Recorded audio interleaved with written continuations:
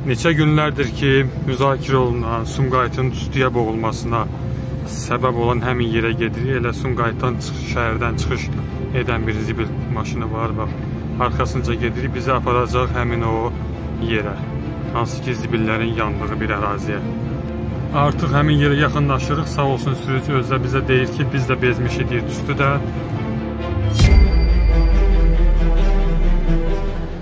Bəli, bura həmin o zibillərin yandığı poligondur. Gördüyünüz kimi ətrafı tikanlı məftillərlə hasar alınıb. İçəridə bax çeşidləmə işi gedir hal-hazırda. Plastikləri və digər materialları çeşidləyənlər var, yəni yığırlar, ayırırlar.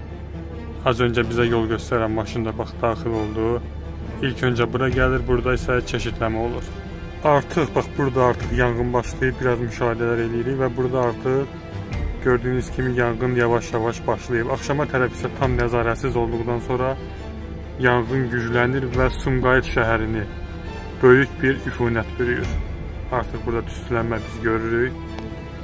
Gördüyünüz kimi divara yazılıb apaslı zona, yəni təhlükəli zona. Bura girişidir, arxa girişidir həmin ərazinin. Doğrudan da divarda yazıldığı kimi təhlükəli bir yerdir bura. Buranın öz nəzarətçiləri var. Hansı ki, burada məişət tullantıları, yığımı işi ilə məşğul olanlar var ki, açıq formada çəkiliş aparmağa maneçilik törədirlər.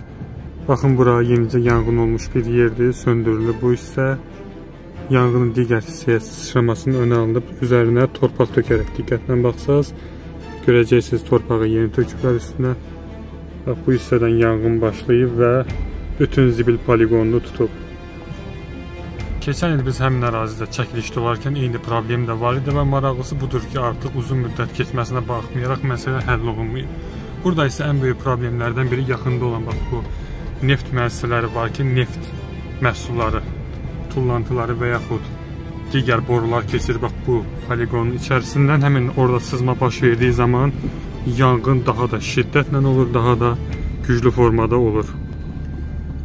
Ekoaktivistlərin artıq bir neçə gündür Sumqayıt İcra Hakimiyyəti önündə bildiyiniz kimi etiraz edirlər.